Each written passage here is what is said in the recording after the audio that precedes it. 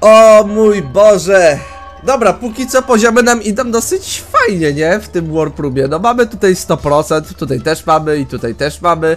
Ale ciekaw jestem jak pójdą te tutaj dwie perełki, a zwłaszcza ta perełka, ponieważ to jest najgorszy poziom. A raczej tematyka tego poziomu jest tak... Urgh! Nie cierpię poziomów podwodnych, okej? Musiałem to podkreślić. Muszę to za każdym razem podkreślać, żeby ludzie wiedzieli, żeby nie było później pytań, że Hej Michał, a ty lubisz poziomy podwodne w Doraf of Cortex?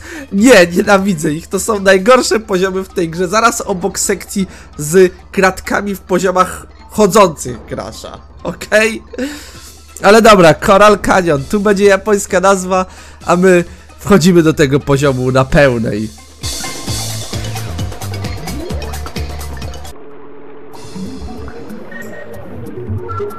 I zaczynamy sobie poziom podwodny.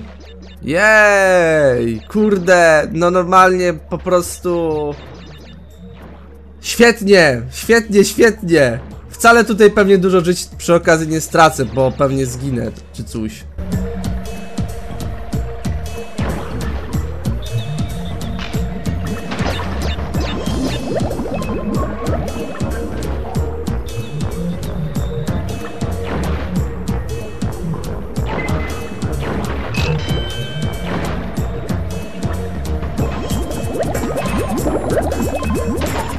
No właśnie. Tak, specjalnie się wyciszę, byście mogli posłuchać sobie soundtracku. I muszę przyznać, że soundtrack nie jest tutaj aż taki zły. Ale dobra, jest tutaj jedna ciekawostka, o której wam wspomnę i w zasadzie to tyle, jeżeli chodzi o ciekawostki z tego poziomu, więc... E, wersja na PS2 tego poziomu wygląda tak, jak widzicie teraz, czyli sobie po prostu mamy tutaj tą łódź podwodną, gdzie rozjaśniamy sobie ten poziom, ponieważ jest on cholernie ciemny, jak zresztą widzicie na ekranie. E, w wersji na Xboxa i na Gamecube'a w ogóle jest to totalnie zignorowane, dlatego że mm, jakby to światełko nie działa, ponieważ ten poziom jest na tyle jasny, że nie trzeba go rozjaśniać sobie. A tutaj my musimy przez tą całą sekcję rozjaśnić sobie ten poziom, ponieważ jest on dosyć ciemny w tej wersji. No, a wersja na Xboxa i na Gamecube'a nie muszą. Nie muszą, dlatego że nie potrzebują takich upgrade'ów, jakie dostała wersja na PS2. Ogólnie chcę tutaj też z miejsca pozdrowić polskiego Gamera 17, tak jak zresztą pamiętacie, ci co pamiętają moje początkowe let's playe, gdzie za każdym razem KURDE, ZNOWU TA BOMBA! Tak, powiedziałem to za późno, dlatego że musiałem, chciałem skupić jakby swoją myśl.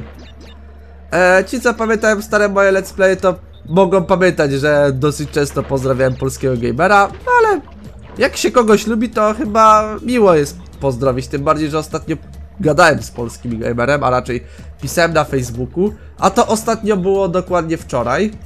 I trochę gadaliśmy sobie na temat wersji Wrath of Cortex na różne konsole.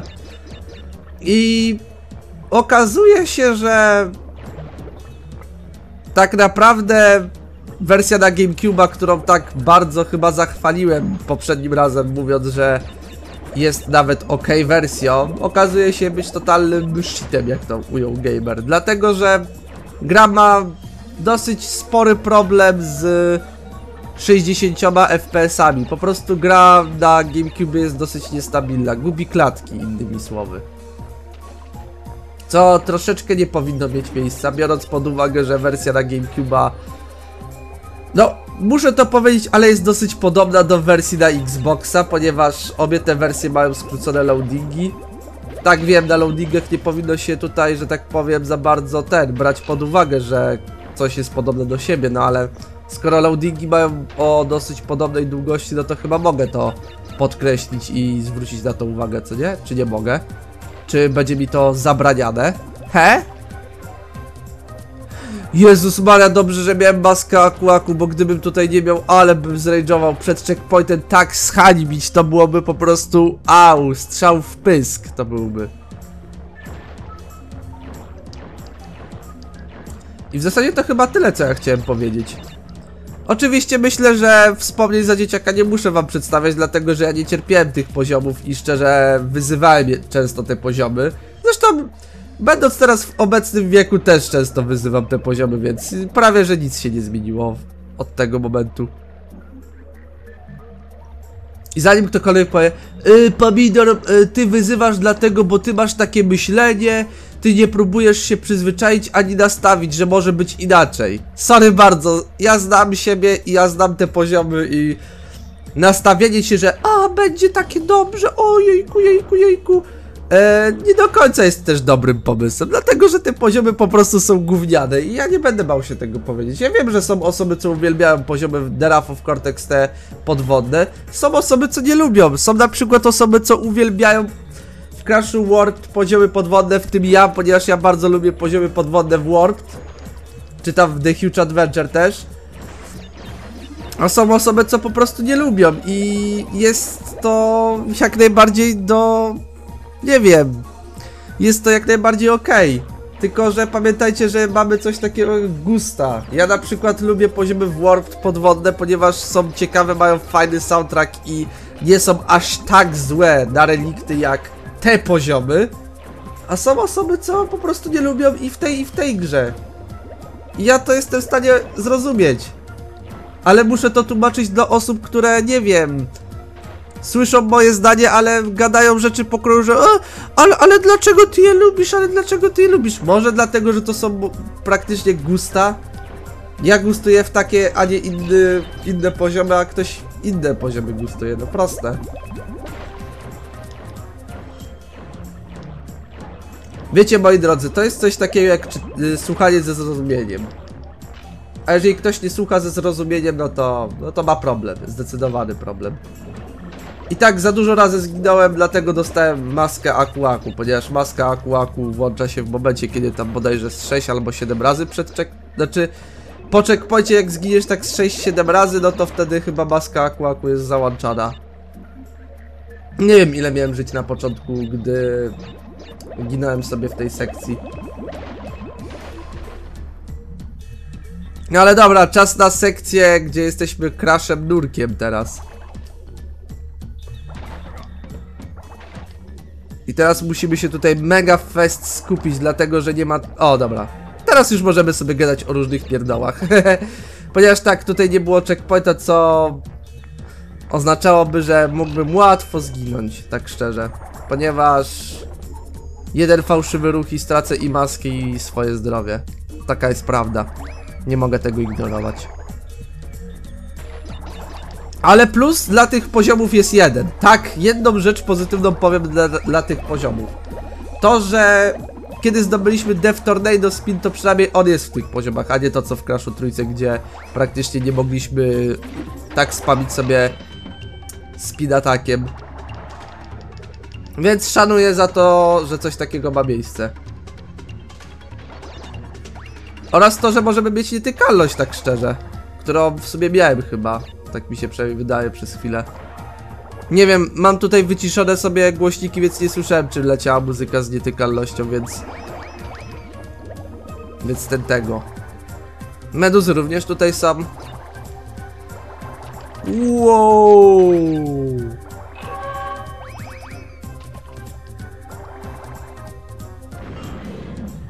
Jest, jest, mamy 100%, wyłazimy stąd.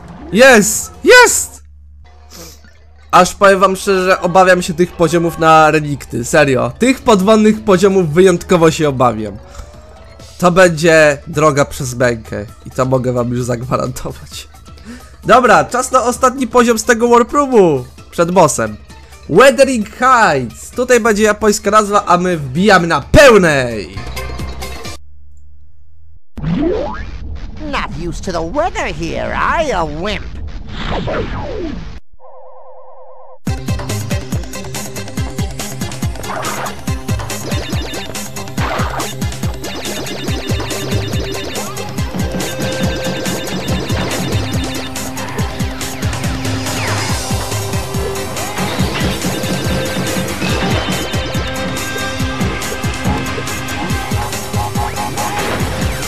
Okej, jestem z wami tutaj już sobie z powrotem. No i gramy sobie, co nie? No i to było głupota. Musiałem na chwilkę być cichutko, żebyście mogli sobie posłuchać tego dobrego soundtracku. Tak, uważam, że to jest bardzo dobry soundtrack. I no cóż, jeżeli chodzi o Wuthering Heights, to mam tutaj jedną ciekawostkę i jest ona związana z tym tłem. Otóż, jak widzicie, mamy tutaj... Chyba to jest kadłub statku, bo to trochę mi przypomina taki kadłub statku. Albo i nie, nie wiem. W każdym razie to jest taki fragment, nie wiem, chyba e, tego latającego czegoś. I jest to w ogniu, co nie? Otóż ciekawostka związana z tym jest taka, że generalnie przed wejściem do tego laboratorium miał być inny poziom. W sensie to co widzicie tam w ogniu, to miało być nasze zadanie, byśmy zniszczyli znowu te takie te generatory Cortexa, co zniszczyliśmy sobie w drugim poziomie w tej gierce. Wiecie tym, co powiedziałem, że jest to bardzo fajny poziom.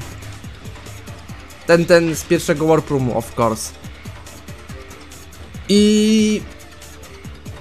Generalnie przed zniszczeniem, znaczy poza zniszczeniem tych sześciu takich generatorów Cortexa, mieliśmy jeszcze tam właśnie zniszczyć działka i potem wlecieć za pomocą takiego takiej dziurki, czy nie wiem jak to się nazywa, to jest takie jak samoloty albo jakieś poduszkowce wylatują z tego, że na przykład otwiera się wam taka automatyczna brama w niektórych na przykład grach albo filmach i ona się otwiera tak do góry i wy musicie po prostu wylecieć stamtąd, to, to, to jest na takiej samej zasadzie, co nie?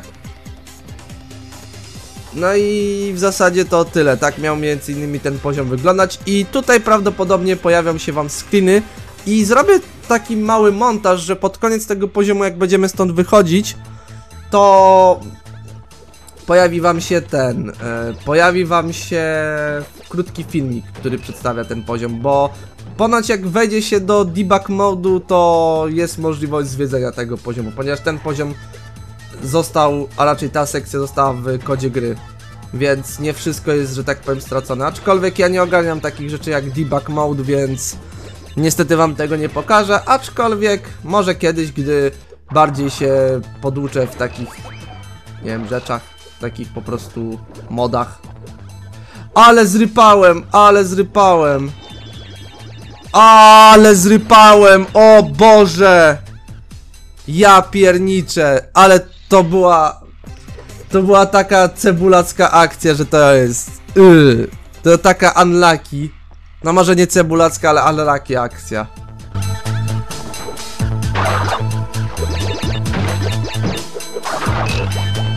Więc teraz na spokojnie podejdziemy do tego bonusu. Taką mam przynajmniej nadzieję. I takie są plany, ale jak wyjdzie z tych planów, to zobaczymy.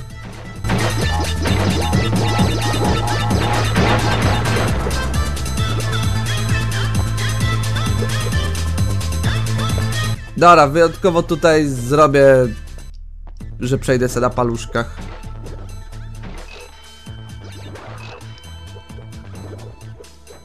Jezu, znowu to samo. Ale dobra, teraz się udało. Wszystkie skrzynki zostały zniszczone? Tak, zostały. Okej, okay, 5 żyć mamy. Nice! A pozostałe skrzynki to chyba są nitra. Taką przynajmniej mam nadzieję, że nie pominąłem żadnej skrzynki. Nie, same nitro zostały. Już mamy 99 żyć. Proszę państwa, już mamy kurde Cel osiągnięty! 99. Teraz już mogę mieć totalnie w dupie życia, ponieważ jesteśmy ultra koksami. Wspominałem wam o wspomnieniach e, z tego poziomu za dzieciaka jak grałem? Jeżeli nie, to wiecie, że poziom jak najbardziej spoko. Bardzo go lubiłem. Mój znajomy też go bardzo lubił, chociażby przez ten klimat, jaki panuje w tym poziomie. A, jest jeszcze jedna ciekawostka, ale to jest w ogóle taka ciekawostka, która, przez którą jak ja po raz pierwszy to czytałem na Wikipedii, to miałem takie WTF dosłownie, ponieważ widzicie co przed chwilą spowodowało moją śmierć? Ten ogień, nie? Z, tych, z tego wentylatora, czy z czego to tam w ogóle jest, nie wiem jak to się nazywa potocznie. Eee, ciekawostka jaka jest na Wikipedii mówi nam o tym, że po, ponieważ Pyro został pokonany, to w jakimś dziwnym sposobie może tutaj wywoływać ogień w takich miejscach. sensie w dziwny sposób y, może wywoływać ogień w takich miejscach. Co jest dla mnie wielkim mindfuckiem, bo e, co ma piernik do wiatraka? Okej, Pyro jest elementalem ognistym, ale to trochę jest dla mnie dziwne, szczerze. Czyli mam rozumieć, że jedyny ogień, jaki ma prawo się pojawić w tej grze, to jest ogień, ponieważ Pyro jest elementalem ognia, a ponieważ został on pokonany, to on już ogień w żadnym poziomie się pojawić nie może, tak? To idziemy tą logiką.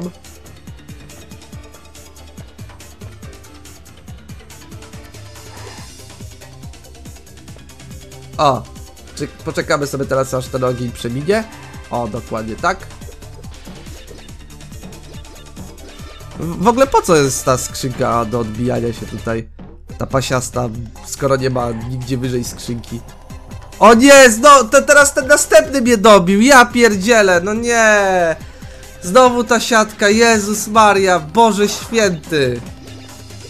Boże, widzisz i nie grzmisz. To było, to było dobre, nie? To co teraz tutaj było. Oj, mamy checkpoint, nice, nice. Jesteśmy bezpieczni, w końcu jesteśmy bezpieczni. Ale teraz trzeba uważać na te lasery, chociaż one są takie mega easy, szczerze, do uniknięcia. O, i skrzynka z niewidzialnością. Fajne jest to, że dodali taką skrzynkę. Tu muszę kolejny plusik dać dla The Wrath of Cortex. Widzicie, ta gra, pomimo tego, że jest średnią grą, to potrafi mieć jakieś plusy.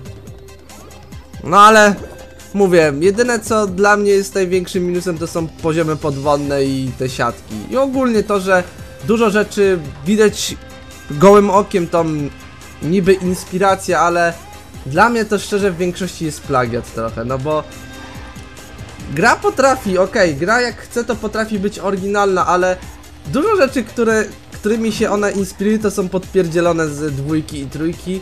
Mało tego, jak już coś podpierdzieli, to to zrobi tak gównianie, że to po prostu przekracza ludzkie pojęcie, nie? I spoko, nie wiedziałem, że w rzeczywistości, kiedy zostanę przez skrzydło wiatraka, że tak powiem, zaatakowany, to zmniejszam się. Czyli mam rozumieć, że kiedy ja byłbym tutaj w tym poziomie jako człowiek, jako pomidor, ten, którego teraz słuchacie, jak tutaj wam gada, e, miałbym robić tutaj sekcji przypadkowo to jedno skrzydło wiatraka by mnie, że tak powiem, e, popieściło, to nie poćwiartowałoby mnie to na kawałki, tylko by po prostu spowodowało, że zmniejszyłbym się. Okej, okej, jak najbardziej okej. Czyli oznacza to, że wszystkie poziomy ro- zrobiliśmy dzisiaj na 100%. Wow, fajne ten. Fajne, przeci fajne przeciwieństw przeciwieństwo tego, co było ostatnio. No ale dobra.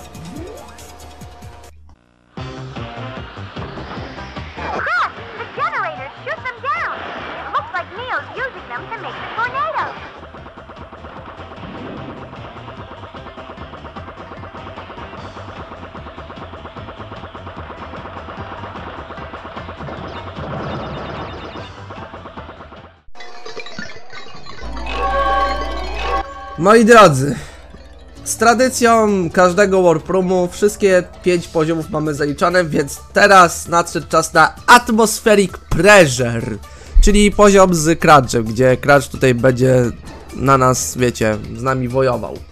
Tutaj będzie japońska nazwa, a my zatem wbijamy i kopiemy mu dupsko. Hey, look! The orange boy likes to fly! Time to earn your wings, kid.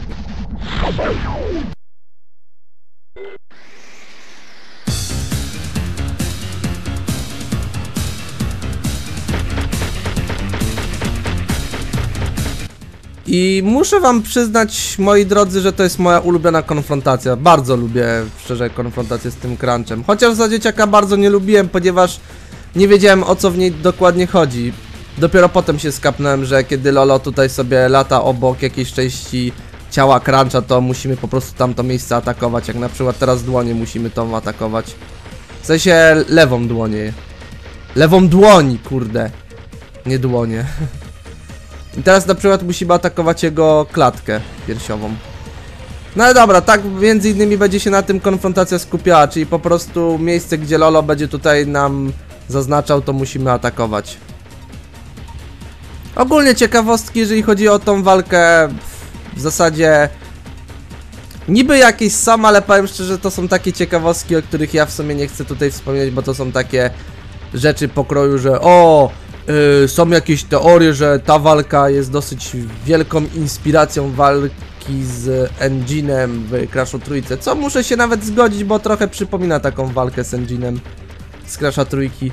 Tylko, że tutaj atakujemy Cruncha i nie będzie żadnej sekcji, gdzie nagle z dupy przyleci do nas Polar albo Pura i się do nas podłączy. Znaczy wiem, że w Crashu Trójce to Pura przyleciała i się do Koko podłączyła, ale takim przeciwieństwem, e, przeciwieństwem, no, Crasha, znaczy przeciwieństwem Koko, bo w sumie Koko miała Purę, no to w tym wypadku to jako przeciwieństwo to mógłby się Polar tutaj podłączyć w sumie. Ale tak, e, ważna rzecz. W momencie, kiedy on będzie miał coraz mniej HP, to on będzie coraz częściej jakby... W sensie Lolo będzie coraz częściej wskazywał nam miejsce, gdzie mamy atakować, ponieważ... Patrzcie, my mamy 75%, a Crunch na dobrą sprawę już po prostu jest półmartwy. Bo nie ukrywajmy, ale on ma coraz słabsze ataki. Niby coraz częściej je tak naprawdę ten... Coraz częściej chce w nas atakować, ale robi to strasznie wolno, że nawet nie trafia w nas, jak widzicie. Więc ta konfrontacja nie sprawi nam żadnego problemu. No jedynie ten laser próbuje w nas trafić w jakiś jeszcze sposób, ale patrzcie, on ma nawet... On ma 15%, więc... On już jest, powiedzmy sobie szczerze, że już martwy. On się nic już nie stara nawet w tej walce.